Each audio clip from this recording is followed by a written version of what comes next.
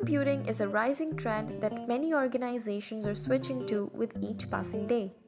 But what is it? Why has it become so important these days?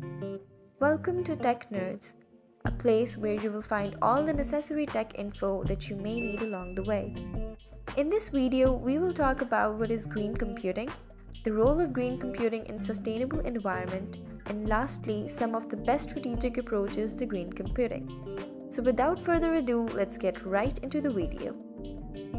What is green computing? Green computing or green technology is the use of computers and other computing devices in energy efficient and eco-friendly ways. It is a study and research of developing, utilizing, as well as disposing of computing modules and devices to minimize environmental risks and pollution. Green computing is surely taking a much more holistic approach than it once did, especially as companies are brainstorming solutions to cut costs and increase their revenue. Did you know how the whole idea of green computing came into place? Well, the concept was first conceived with the launch of Energy Star in 1992 under the US Movement Environmental Agency.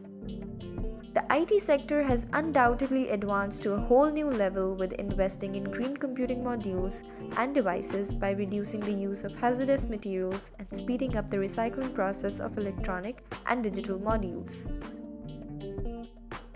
The second part of our video. What is the role of green computing in a sustainable environment? We have already discussed what green computing is and how it is benefiting the IT sector, but the conversation doesn't end there. We also need to understand how it contributes to sustainable development.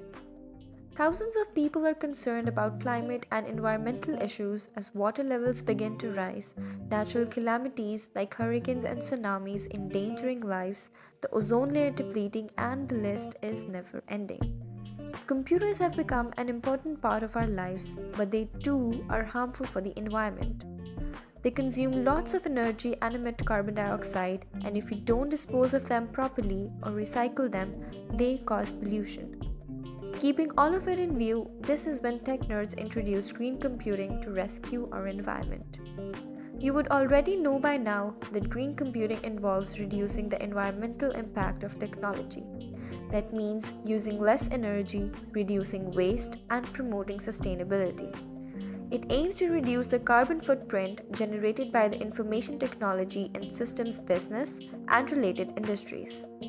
Solar energy, geothermal energy, wind energy, and even hydroelectricity are all great examples of green computing. Last but not the least, it's time to discuss a few of the best approaches to green computing. Number 3. Terminal servers. Terminal servers have also been used in green computing methods. Terminal services for Windows and the Aqua Connect terminal server for Mac both deliver operating systems to end users. Using this method, users terminal into a central server, and all of the computing is done at the server level, but the end user experiences the operating system. Green manufacturing. A truly, sustainable, a truly sustainable manufacturing process is the goal for almost all companies. The economic benefits of going green are significant, and every business that has yet to move in this direction has an opportunity to discover it for themselves. Those who have already taken steps in this direction report many gains. While price and quality have long been the dominant motivations in consumers' choice rationale, the expectations have risen on other fronts too. It is as important as ever for companies to show their responsibility towards a secure environment as well. Beyond that, customers are ready to pay extra for sustainable products. Almost 85% of consumers have become greener in their purchasing in recent years.